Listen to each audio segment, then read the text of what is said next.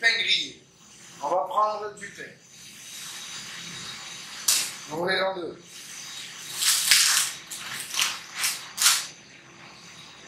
On va aller se chercher une pain. J'en ai pas. Du coup, chez Tartare, nous allons prendre le chalumeau.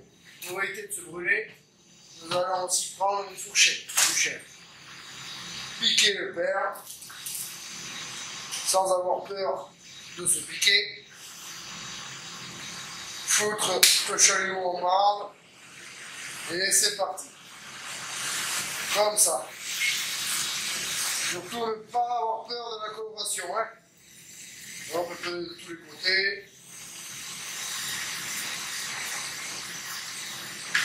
Comme ceci. On l'enlève sans se brûler. Une bonne tartine grillée pour le petit-déj. Mais quel bazar Rendez-moi mon tartarte